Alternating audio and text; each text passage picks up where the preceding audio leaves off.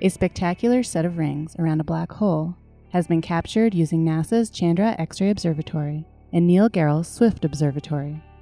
The X ray images of the giant rings have revealed new information about dust located in our galaxy, using a similar principle to the X rays performed in doctors' offices and airports.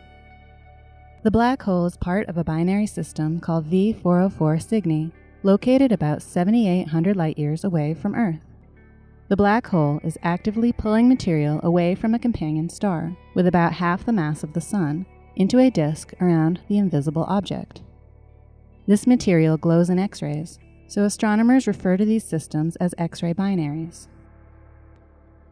On June 5, 2015, Swift discovered a burst of X rays from V404 Cygni. The burst created the high energy rings from a phenomenon known as light echoes. Instead of sound waves bouncing off a canyon wall, the light echoes around V404 Cygni were produced when a burst of X rays from the black hole system bounced off of dust clouds between V404 Cygni and Earth. Cosmic dust is not like household dust, but is more like smoke and consists of tiny solid particles. The team analyzed 50 Swift observations made in 2015 between June 30 and August 25 Chandra observed the system on July 11 and 25. It was such a bright event that the operators of Chandra purposely placed V404 Cygni in between the detectors so that another bright burst would not damage the instrument.